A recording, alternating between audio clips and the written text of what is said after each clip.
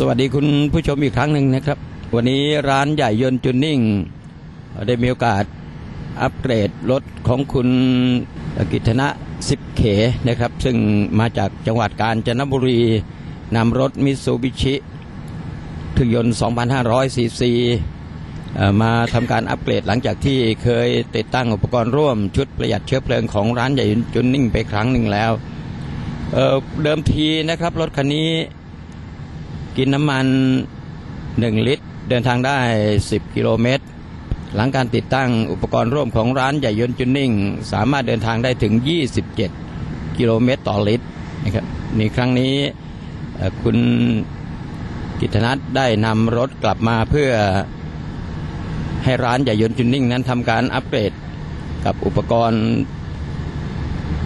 ที่สามารถจะประหยัดเชื้อเพลิงเพิ่มขึ้นได้นะครับ วันนี้เราจึงเดินทางมาทำการทดสอบเพื่อทราบผลว่าหลังการอัปเดตแล้ว รถคันนี้จะสามารถประหยัดเชื้อเพลิงได้เท่าไหร่นะครับ การตั้งที่ 00 กิโลเมตรนะครับที่หน้าไม้รวมถึงการใช้น้ำมัน 1 ลิตร ต่อการทดสอบเดี๋ยวสักครู่หนึ่งนะครับ จะทราบว่ารถของคุณ กิตนัทนั้นสามารถจะประหยัดได้เท่าไหร่นะครับการการติดตั้งอุปกรณ์ร่วมไปในคราวที่แล้วครับ อยากทราบว่าเครื่องยนต์เป็นยังไงบ้างการเดินทางเป็นยังไงบ้างครับอัตราการเร่งก็ดีขึ้นนะครับครับจากการปกติแล้วการแซงรถต้องเชนเกียร์สี่ครับอืมนี่ก็คือไปเหยียบเกียร์ห้าไปได้เลยครับ ไม่ต้องเชนเกียร์สี่เหมือนเดิม แล้วเครื่องยนต์ร้อนไหมเครื่องยนต์ก็อ่าเกวัตก็เท่าเดิมครับ ไม่มีความร้อนขึ้น ไม่ไม่ไม่ไม่ร้อนผิดปกตินะครับ ไม่ร้อนผิดปกติครับ เสียงเครื่องยนต์เป็นไงบ้างฮะระหว่างที่ใช้อยู่อะก็เครื่องเย็นเงียบอะครับ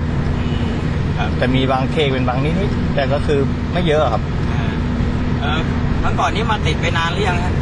ติดเมื่อเดือนกันยาปี 55 ครับ ประมาณ 6 เดือนแล้วครับ ใช้มาหกเดือน ครับผม ความผิดปกติทางด้านเครื่องยนต์อ่ามีอะไรเกิดขึ้นบ้างไหมฮะไม่มีเลยครับอ่าใช้ดีนะครับ ใช้ดีเหมือนเดิมครับ แล้วคราวนี้เนี่ยมาเองหรือว่าทางร้านเขาติดต่อมาครับ ก็อ่าวันนั้นได้เปิดดูในอ่าเว็บอะครับ ครับ ก็เห็นได้อัปเกรดรถ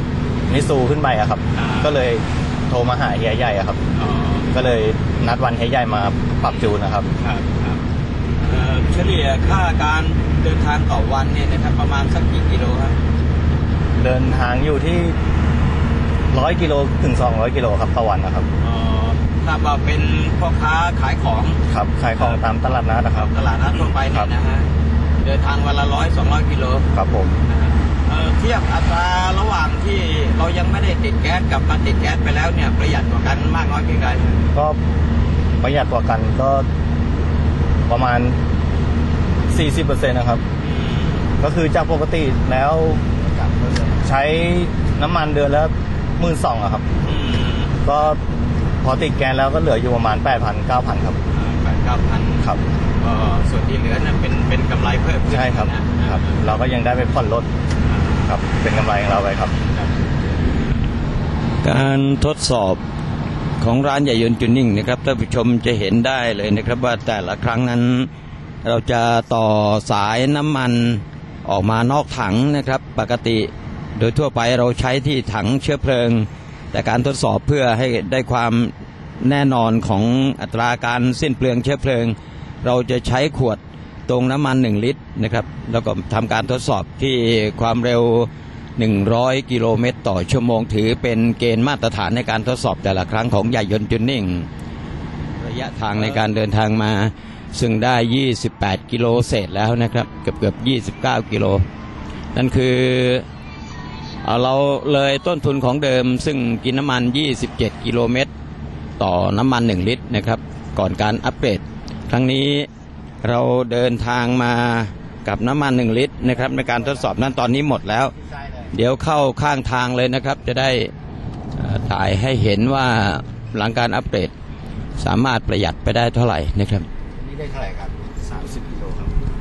กิโลนะฮะ30 กิโลครับได้3.1 สามจุดหนึ่งนะครับเ